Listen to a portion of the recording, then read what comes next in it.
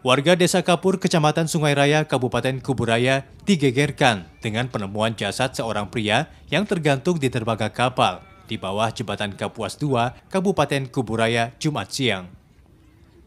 Jasad pria yang menggunakan baju kaos biru itu tergantung dengan posisi leher terilit tali tambang, dengan bagian atas tubuh berada di atas air, sementara bagian kaki terendam. Saat ini, jasad korban berinisial CP, warga Pontianak Tenggara telah dievakuasi dan dibawa ke Rumah Sakit Bayangkara Anton Sujarwo Pontianak. Polres Kuburaya juga masih melakukan penyelidikan terkait kasus ini.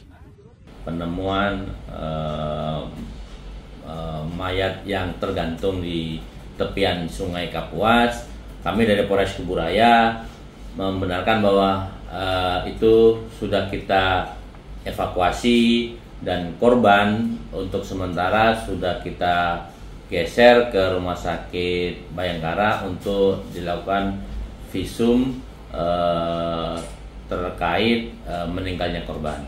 Untuk identitas dan motif dan sebagainya nanti kita akan update setelah semua informasi sudah terkumpul oleh anggota di lapangan.